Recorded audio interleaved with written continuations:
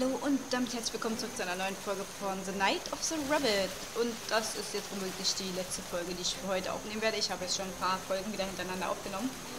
Ähm, und ich muss zugeben, dass ich jetzt kurz wieder in die Lösung geschaut habe, weil ich hier absolut keinen Plan habe, wie wir diese Echse in, das, in die Flasche stecken sollen. Also ich glaube, ich wäre auch nicht so schnell darauf gekommen. Ähm, deswegen, also ich wusste, dass wir, oder mir war klar, dass wenn wir hier an dieser Blume ziehen, ist die Echse abgelenkt und wir müssten irgendwas mit der Trommel machen. Aber ja, so einfach war das irgendwie alles nicht. Deswegen habe ich halt nachgeschaut und bin froh, dass ich es gemacht habe. Ähm, so, wie war das jetzt? Ich glaube, erstmal die eigene Zukunft voraussagen. Können Sie auch Ihre eigene Zukunft vorhersehen? Selbstverständlich. Interessant.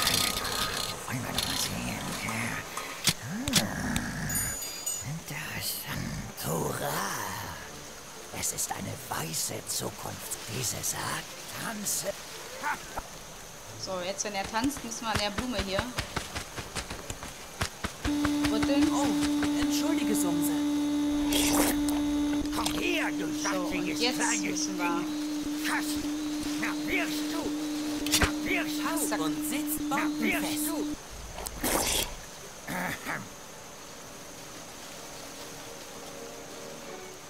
Es hat nicht sollen sein. Nicht? So, genau. So, wird findet schon man raus, ne? Da muss man ja auch erstmal drauf kommen.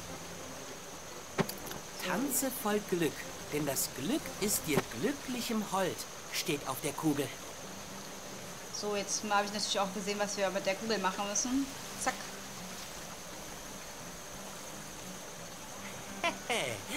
Passt perfekt. So, wie war das jetzt? Müssen wir die Rübe erstmal rausholen oder müssen wir das gleich? Ich weiß nicht, wir machen jetzt erstmal, ähm, so. Können Sie mir auch die Zukunft voraussagen? Das macht einen Laubtaler. Kann ich auch später zahlen? Mit 20% Zinsen kannst du bei mir einen Glückskredit beziehen. Pro Jahr? Pro Tag. Du sitzt sowieso gleich in einer Flasche. Wie? Nichts? Kredit klingt gut. Ausgezeichnet. Die allwissenden Kugeln werden dir die Zukunft weisen.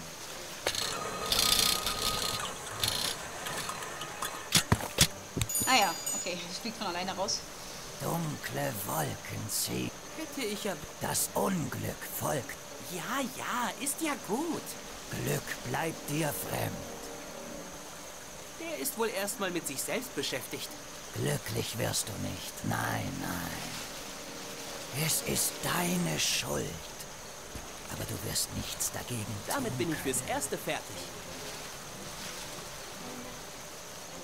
Dort springen die Glückskugeln heraus. Unglück wird über dich kommen, wenn du diese Klappe berührst. Äh, ich wollte nur... Äh, Lügst. Hm, Haben wir jetzt zu lange gebraucht. Ich muss, glaube ich, nochmal die Zukunft voraussagen. Sie... Das macht Kann ich... mit Pro Jahr. Brot. Mit aus Wir müssen jetzt die weiße Kugel da reinschmeißen.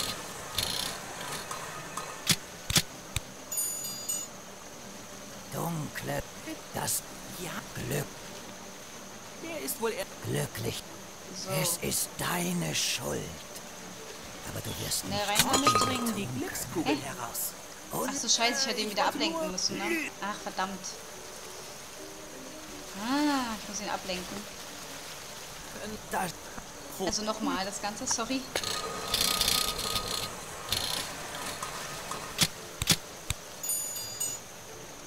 Dunkel. Das Ja, Glück. der ist wohl... Er Glück. Es ist deine Schuld. Aber du wirst nichts dagegen oh, tun. entschuldige, Sumse. Komm her, du saftiges kleines Ding. Und klapp. Kass.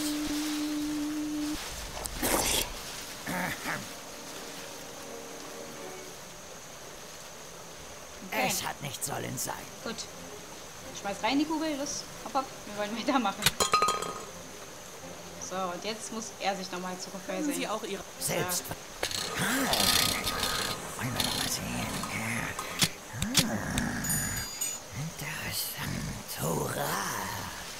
Es ist eine weiße Zukunftskugel. Diese sagt, ein guter Schluck bringt großes Glück. Wie seltsam. Aber die Kugel hat nie gelogen. Nur, wo bekomme ich so einen Schluck?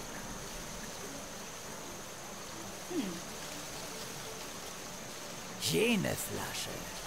Die Kugel führt mich zu ihr. Ich muss sie öffnen, um an mein Glück zu gelangen. Na dann, nur zu. Ich gebe Glück und siehe, mir wird Glück gegeben.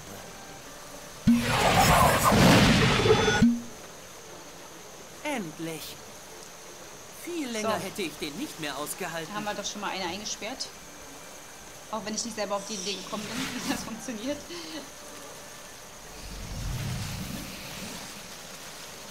Endlich ist er weg. Kitsune, Tokage-Seidan sind in dieser Welt. Wie kann das sein? du kennst sie? Sie waren schon in meiner Welt. Wer sie berührt, wird sich für immer verlaufen. Glaubst du wirklich? Jerry, ich kann meinen Weg nach Hause nicht mehr öffnen. Das waren bestimmt Sie. Ich will nach Hause. Kitsune, warte! Weg ist sie. Okay, jetzt müssen wir uns natürlich noch um die anderen. Um die anderen beiden Echsen kümmern. So, die waren ja direkt in, in der Stadt im Auswald drin.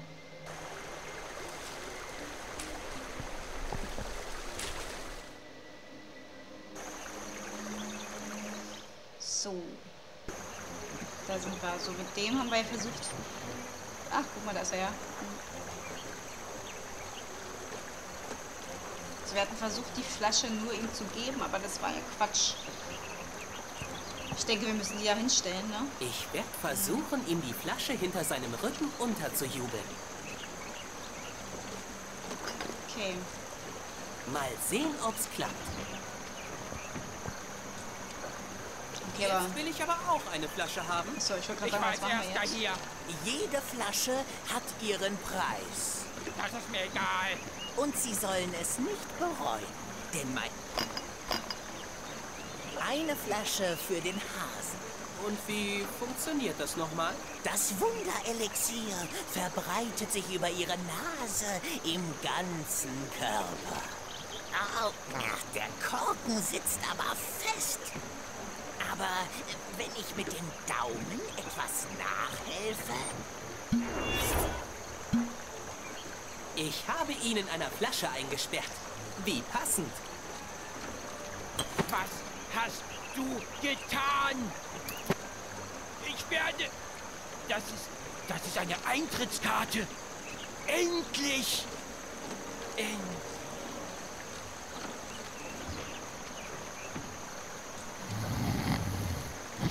Er schläft. Der große Tarov.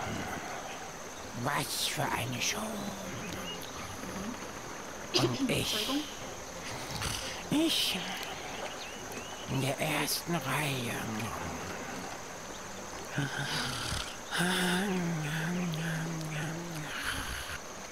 Es klingt fast, als wäre er da. Als würde er die Zaubervorstellung im Traum besuchen. Wie seltsam. Okay. Also. Es muss an der Eintrittskarte da liegen, die die Echse verloren hat. Da lasse ich besser die Finger davon.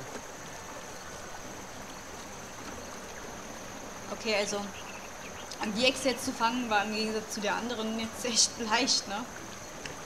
So, okay, was machen wir jetzt aber mit der dritten Echse? Ich habe keine Ahnung. Hm. Ist auf jeden Fall besoffen. Das haben wir in der letzten Folge äh, der Bann hat seine Wirkung nicht verfehlt. Jo, okay. Ähm, zwei Echsen haben wir, eine fehlt uns. Ah, Was haben wir denn hier noch? Hm, Eigentlich alles nix. Zauber, aber was sollen wir denn da zaubern? Ach, ich sorry Leute, ich muss da nochmal nachgucken, glaube ich. Der Bann hat seine Wirkung nicht verfehlt. Okay. Und dem Konsortium wird wieder der Respekt zukommen, Dann geht's mal der weiter, ne? gebührt. Ich rieche finanziellen Handlungsspielraum. Klar, ich bin so reich. Als ausgebildeter Klempner verdient man nicht schlecht. Du bist gekommen, weil der Schmerz dich aufzehrt. Wie die anderen. Absolut. Du willst Zarow sehen.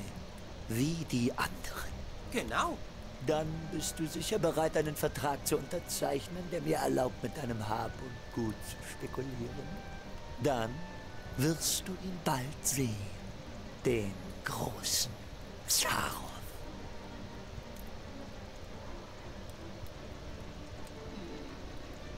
Klar. Ich habe keine Wo Ahnung. soll ich Ja. unterschreiben?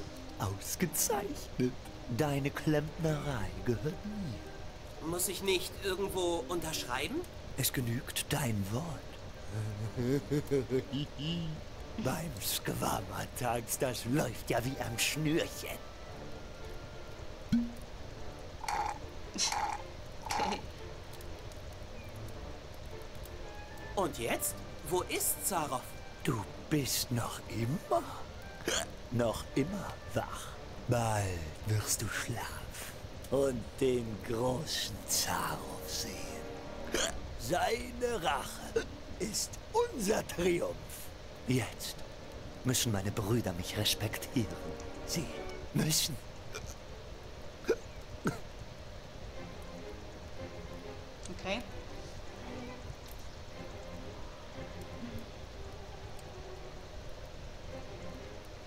Irgendwie bin ich gerade ein bisschen verwirrt. Ich habe immer noch eine Menge Geld und so zur Verfügung. Echt schlimm. Du willst Zarows wie die Immer noch. der das so- dann wirst dann den Hm, noch ein Vertrag. Ich habe deine Brüder über dich reden gehört. Ich habe deine Brüder über dich reden gehört. Was? Ich wusste es. Diese hinterhältigen. Warte, ich glaube dir nicht. Ich bin noch ganz klar im Kopf. Achso, muss er nochmal einen Schluck trinken? Klar, auf ein... Ausge... Deine Wert... Okay, dann trinken wir jetzt nochmal einen Schluck. Der ist ja schon so hackedicht. Musst du mal umkippen jetzt bald. Und jetzt? Du bist noch immer...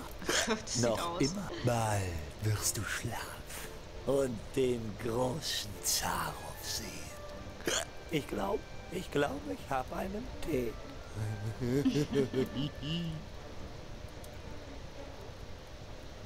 Hallo? Achso. Ich habe immer noch... Echt, Du willst wie immer noch. der Ja, das ja. da da den Ja. Äh. Ah. Das Der Kurs für Eicheln und Nüsse ist gerade abgestürzt. Das alles hier war für die Katz. Ich.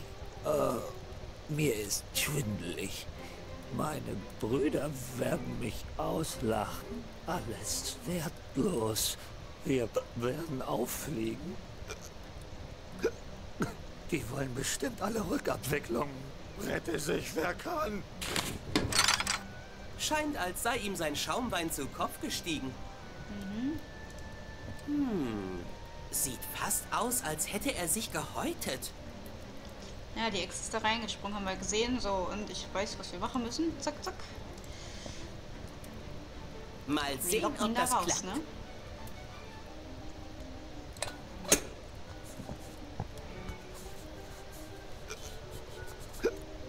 Das juckt.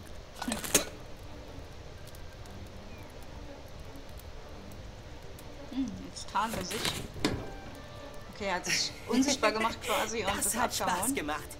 Aber jetzt muss man natürlich hinterher, wir müssen ihn ja fangen in der Flasche. Wo ist die Eidechse denn jetzt abgeblieben? Ja, Die ist doch hier rausgelaufen. da müssen wir mal durchs, äh, durch die Münze gucken, ne? Oh, da oben hängt sie. Kann der mich sehen? Der kann mich sehen.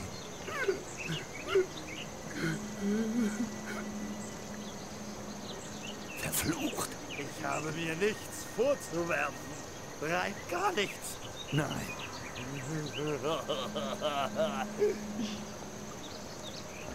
Jung, ich hab dir bei großen Squabbatax hab ich einen trockenen Hals. Ich kann mich nicht mal richtig rausreden.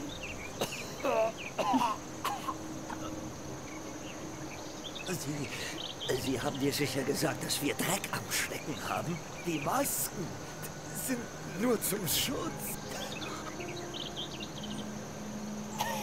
Trockene Kehle. Leute wie wir werden gejagt, getrocknet und am Schwanz aufgehängt.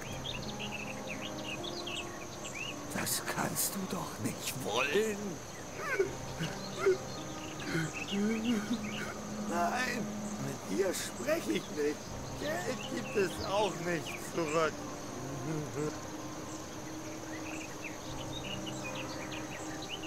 So, wir geben ihm einfach mal die Flasche. Hier. Wie wär's mit etwas frischem, kaltem Wasser? Was? Du guter, gu- guter Junge.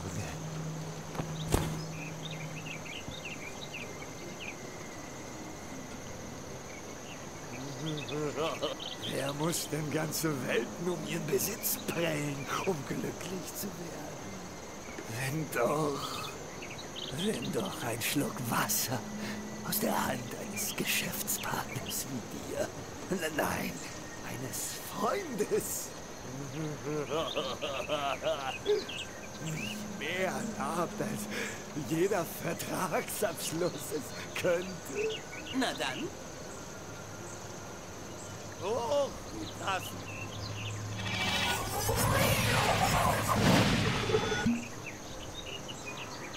ich habe die Eidechse eingefangen.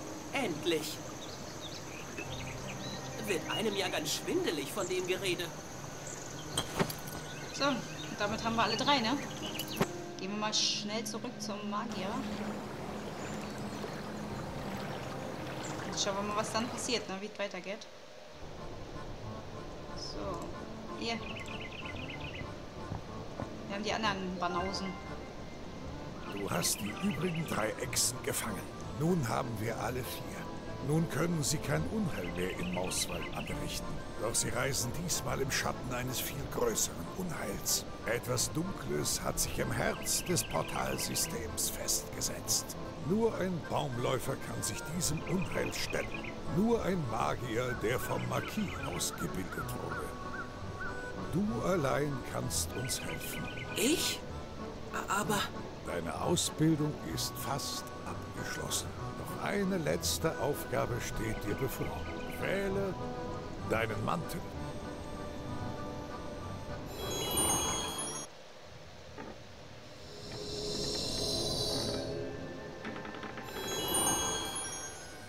Jeder Magier wählt zum Ende seiner Ausbildung einen Mantel, der zu ihm passt. Du hast vier Portale durchschritten. Du hast vier Zauber gelernt. Nun ist auch für dich die Zeit gekommen. Welches Gewand gehört zu dir?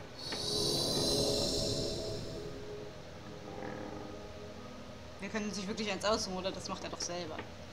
Viele Kleidungsstücke. Roter Mantel. Ja, der rote, natürlich.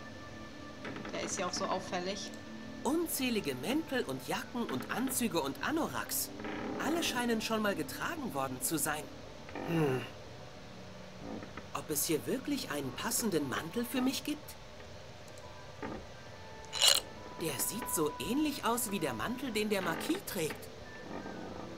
Der ist auf keinen Fall für mich gedacht. Ach so, okay, doch nicht der.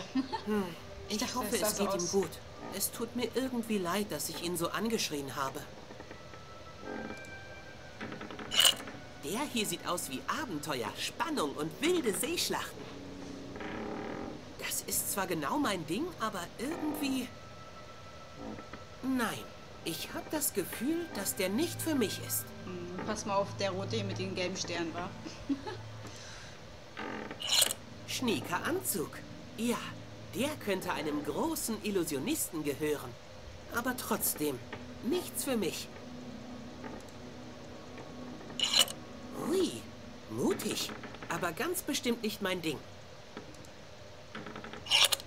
Mhm, klassisch. Oh, aber das ist nicht meins. Okay, dann kommt unseres ganz zum Schluss. Das ist einer von diesen Anzügen, bei dem der Fernseher zu flimmern anfängt, wenn der Moderator im Abendprogramm sowas trägt. Das ist auch nicht meine Jacke. Unzählige Mäntel und alle scheinen schon mal getragen. Hm. Ob es hier wirklich ein... Hä? Ist ja doch kein, oder was? Licht, wir müssen da durchschauen. Hm? Da fällt Licht durch eine kleine Öffnung. Moment. Ist das ein Schlüsselloch? Ja. Wo es ein Schlüsselloch gibt, gibt es doch sicher auch eine Tür.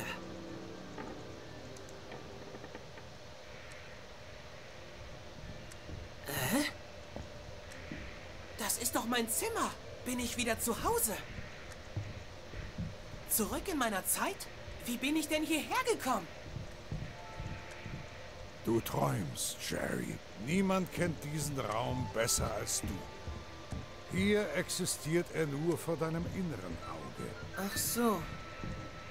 Und was soll ich dann hier, wenn das alles nur ein Traum ist? Die Wahrheit, die du hier finden wirst. Das Wissen, das du verdrängt hast, ist mehr als real. Wähle deinen Mantel, Jerry. Wähle das Gewand, das zu dir gehört.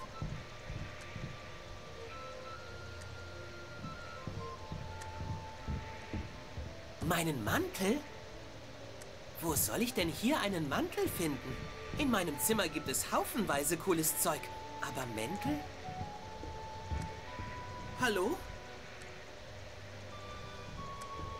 Herr alter Magier? Äh, Keine Antwort. Magie schön und gut, aber an der Kommunikation müssen wir noch arbeiten.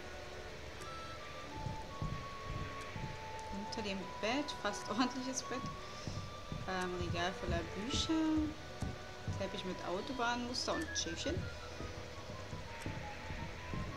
Delle an der Zimmerecke Tür. Schiebetür. Hm, wir die einfach öffnen können? Egal, wir schauen mal nach. Brettspiele, Sportsachen, alte Bilderbücher und meine Comicsammlung. Meine Güte! Die nächste Ausgabe von Dimension Y wird sicher fantastisch. Ob die Krokodilsmenschen nun wirklich London angreifen werden?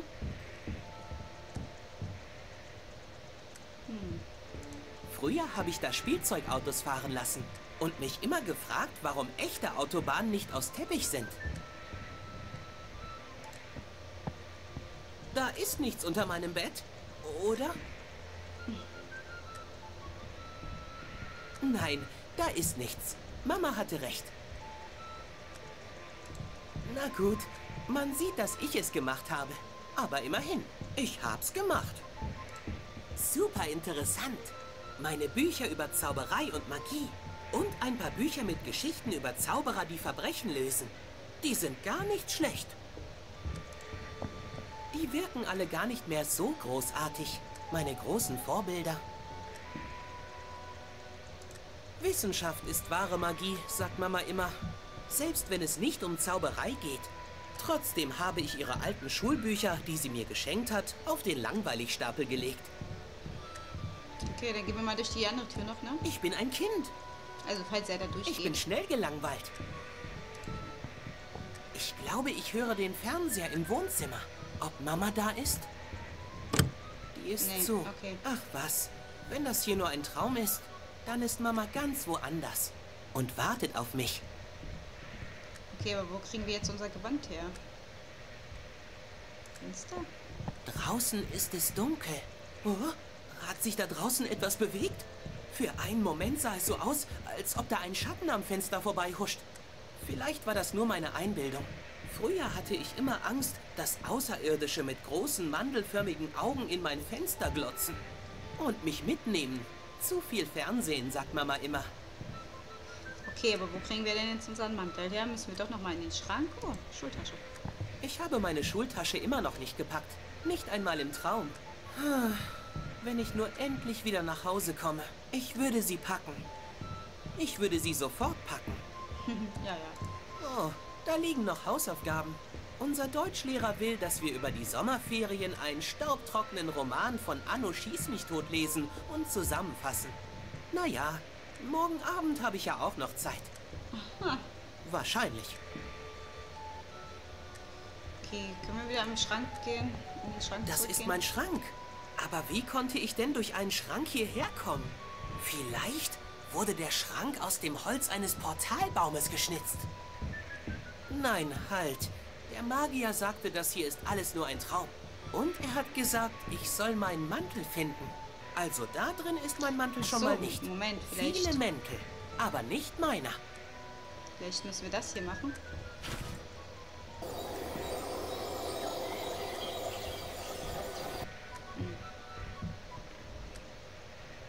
Haben wir jetzt eigentlich noch die Modelle, ne, die wir uns nicht angeguckt Der haben. Weltraum.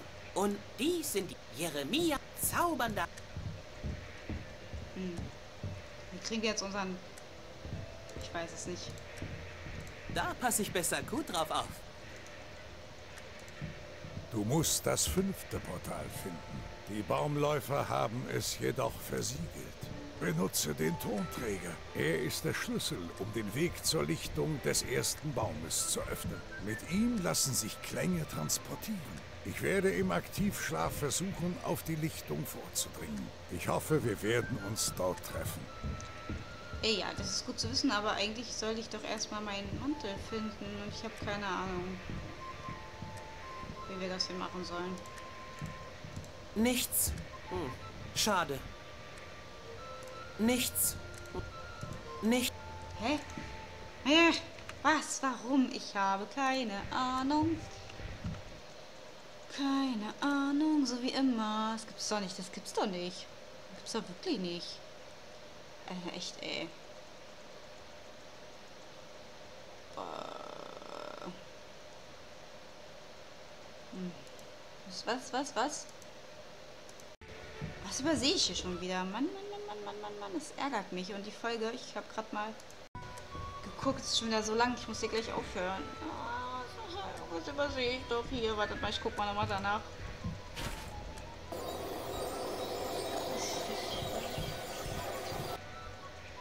Ich muss nochmal gucken. Ich gucke gerade, wo, wo- alles glitzert, was wir schon angeschaut haben. Rechts, rechts ist doch das Fenster, oder? Ja, und dann war irgendwas. Teppich. Hotel. Teppich mit Dings.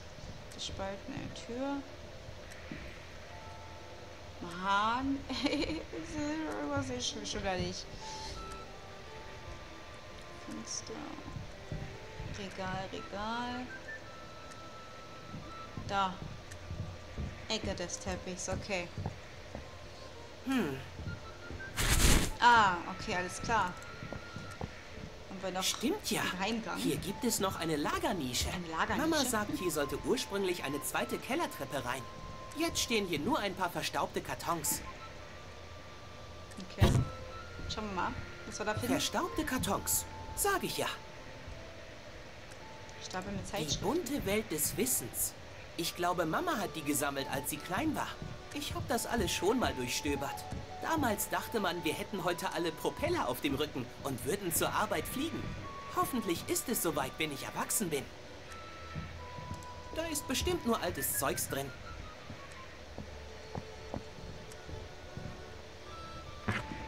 Oh, was ist das? Eine alte Lederjacke. Ich habe sie noch nie gesehen. Aber irgendetwas sagt mir... Ja, ich kenne sie. Wähle deinen Mantel, Jerry. Das ist meine Jacke. Wähle das Gewand, das zu dir gehört. Dieses Gewand gehört zu mir.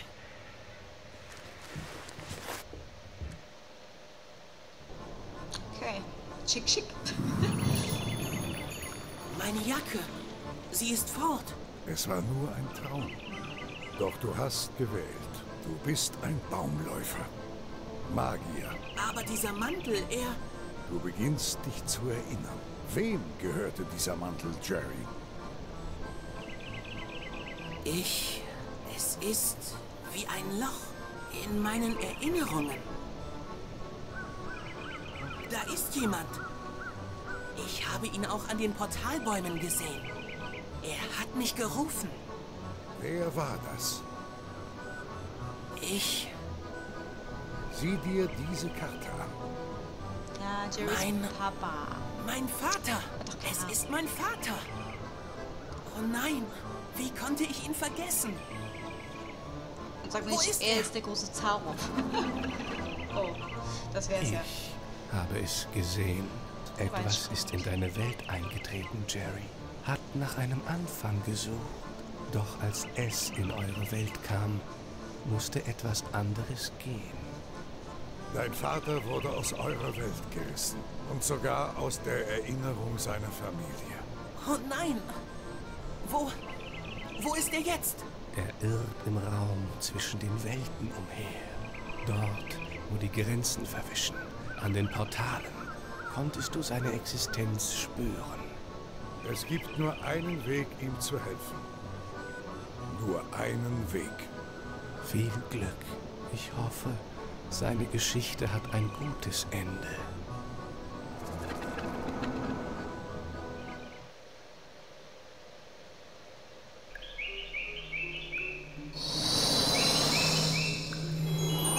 Die Halle der Schüler. Was machen wir hier? Wir müssen zur Lichtung des ersten Baumes vordringen. Zur Lichtung des ersten Baumes? Die Zeichen waren offensichtlich, doch ich habe sie viel zu lange übersehen. Welche Zeichen? Die Poster, die Echsen, ein Bann wurde über den ersten Baum verhängt. Ein verbotener Zauber, der sich in alle Portalwelten verbreitet. Die Poster? Stimmt. Die Mauswalder waren wie besessen von der Idee, den großen Zarow zu sehen. Aber niemand wusste, wo er ist. Er muss auf der Lichtung des ersten Baumes einen Bannspruch gewirkt haben. Über die Vereinnahmung des ersten Baumes hat sich Zarow zu einer alternativlosen Idee gemacht, die sich wie ein Virus verbreitet. Das Echsenkonsortium hat diese Situation ausgenutzt. Den Wahn der Bewohner von Morswald. Nun zieht er sie in ihren Träumen auf die Lichtung des ersten Baumes. Der Marquis wusste davon. Das war also die Gefahr, von der er gesprochen hat.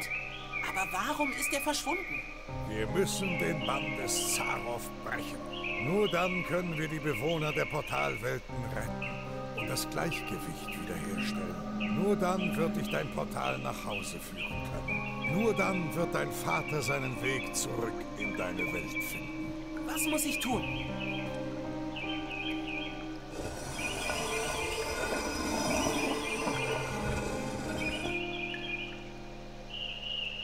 Die Halle der Schüler bestätigt, was ich schon lange weiß. Du bist ein wahrer Baumläufer.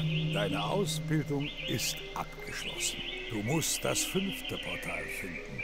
Die Baumläufer haben es jedoch versiegelt. In dieser Halle ist ein Tonträger versteckt. Er ist der Schlüssel, um den Weg zur Lichtung des ersten Baumes zu öffnen. Mit ihm lassen sich Klänge transportieren. Ich werde im Aktivschlaf versuchen, auf die Lichtung vorzudringen. Ich hoffe, wir werden uns dort treffen. Ich wünsche Glück. Ich...